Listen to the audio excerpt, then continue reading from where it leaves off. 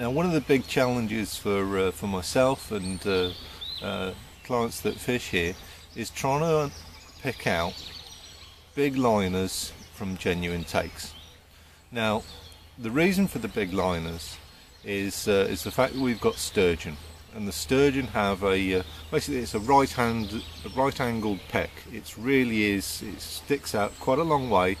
It's very very um, uh, acutely angled um, and uh, it picks up mainline really really well. Um, the catfish have exactly the same um, uh, same pec, they're much larger as well and they'll swim through the line and you've got an absolutely belting run and you'll think you're in, you hit it and you've got nothing, absolutely nothing. So the trick is, well, how do you know? How do you know? Was it a big liner? Have you just been done? Have they picked it up, run with it, dropped the bait? Well, I figured out a little way that's going to tell me exactly what's gone on. So this is the standard Beausoleil rig. If you haven't seen this before, um, check out one of the other videos where I talk specifically about it, or uh, or one of the blog articles as well on the website.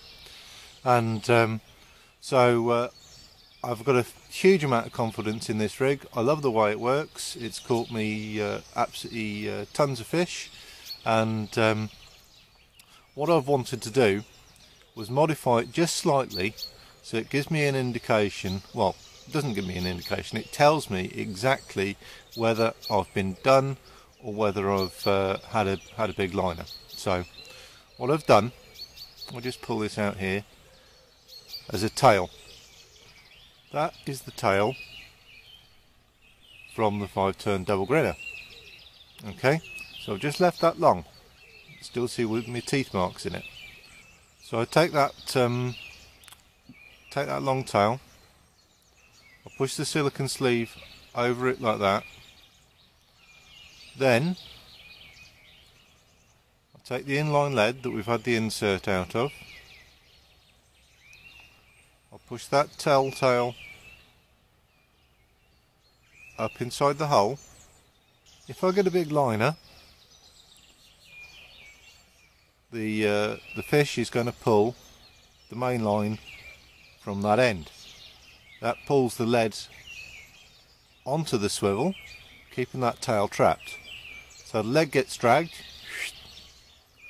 and I wind in, and I'll find that that tail is exactly where I left it. So what happens if I've been done? Well, as soon as we get a bit of tension on uh, on this end, a little bit of shake from Mr. Carp, that leads off.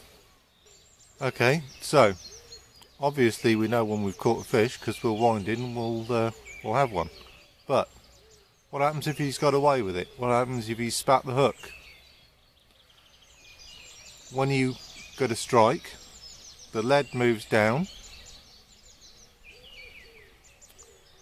and you'll wind in and you'll see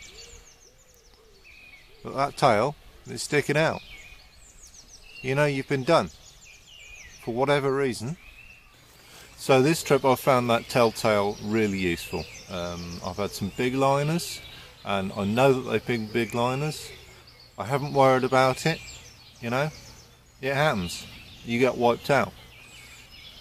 Right now that the sun's come up just a little bit more I've got a pretty little mirror to show you. So let's have a look at it. Well there you go. I'll tell a lie really. She ain't so little is she? 27 pound. Absolutely stunning. Really really beautiful. Look at the look at the colours of that fish in this morning light really.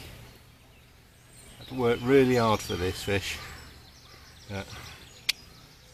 I tricked you. Well, that's it for this session. It's been tricky, but I tricked a couple. See you next time.